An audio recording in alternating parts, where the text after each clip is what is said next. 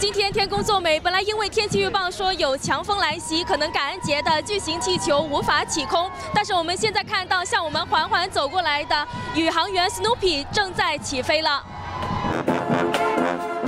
过道两旁的民众站好位置，抬头看悬空的巨型气球，齐声欢呼。这个近距离跟心仪卡通接触的机会，是不少人一生必须有一次的体验。Snoopy. Snoopy. Snoopy. Snoopy. Snoopy. We rode a bus overnight. Yeah, we got here like 5:30. 就是麦迪还不错，看真的看到一个四层楼的，还是挺震撼的。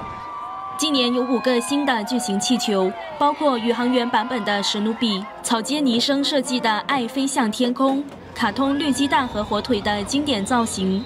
海绵宝宝和他的宠物蜗牛，以及美国国家森林局的吉祥物护林熊，在长达二点五英里的游行路线中，有身穿梅西服饰的啦啦队员，提着大堆气球的小丑，还有二十六辆不同主题的花车穿梭在其中。Working so hard to carry the floats because of the wind, and they're doing such a good job.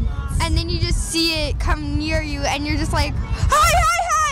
每年十一月的第四个星期四，感恩节，美国人休假一天。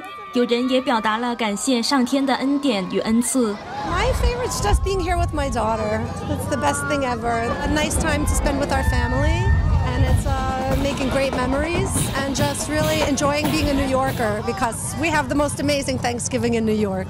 感恩节过后，表示美国的节日季节正式拉开帷幕。新唐人记者柯婷婷、韩瑞纽约报道。